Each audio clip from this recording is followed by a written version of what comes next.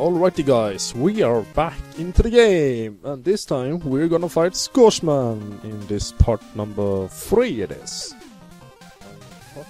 One or two are already up, they are already up and running. And fortunately I mistimed that jump, that really sucked. That did hit me, that was one health bar. Never gonna get that back am I? Ooh no, cannot be able to. So here we are having a lot of uh, most uh, mats. We saw one map on this uh, vehicle. That one is actually called a people for some reason. I don't know why the P is there. Uh, has something to do with the vehicle. And the things we just saw shooting us uh, on us, that's a fire gyro, uh, as I recall. And here we got these uh, bomb machines. I'm not sure about their names. I forgot to look them up actually. And here we have some uh, familiar, for those who played Mega Man 7, you're familiar with Turbo Man stage, and here we had some enemies there. And we got some tellies, or I think it's more like J telly.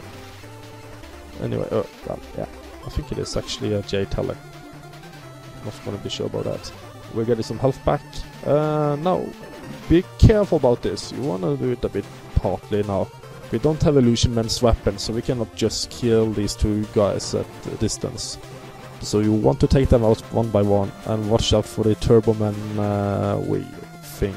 You could also have just uh, been sliding on the ground if I had thought about it. I'm just used to play some Mega Man uh, 2 and Mega Man 9 and 10 and Mega Man 1 and.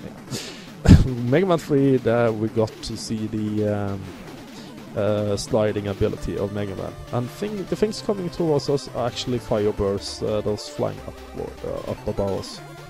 They might try to home for you, but usually they should just be missing. And here we got Daddy, and he gave me some uh, more health. And this guy is very cool. The weapon reminds me a lot about Jim Man from Mega Man 3. And he's been called Punk Joe. And we're just gonna kill that telly. And if you look there where I'm shooting, that's a secret spot to open that door. So we cannot go and do so yet, but we will a bit later on in the game. And I'm just gonna kill that red devil that's jumping around. That, those things are called uh, red devils, and we got this fire gyro that we're gonna kill there. Yeah, there we got him.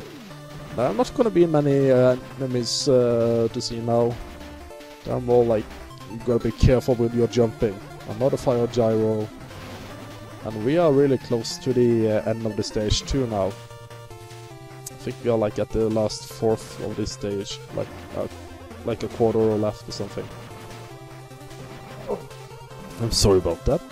That wasn't intentional. But we killed that uh, uh, gyro, fire gyro. And there's also a false uh, ceiling down there, so that's why I just jumped from the lower platform to the top. Because if you jump from the uh, from the higher platform, that will just uh, knock you down. And here there used to be a cannon like there. There was a cannon there, and if you was if you didn't know about it, it would just knock you down. I think we could have kept it, but uh, we uh, took it away to make it a bit easier. Because the game is actually quite challenging, indeed it is. Even though it doesn't look so so far, it is quite challenging for those who don't know what to do. And now we're gonna use the tune-out, because we are gonna fight Scourgeman, one of the harder bosses in this game.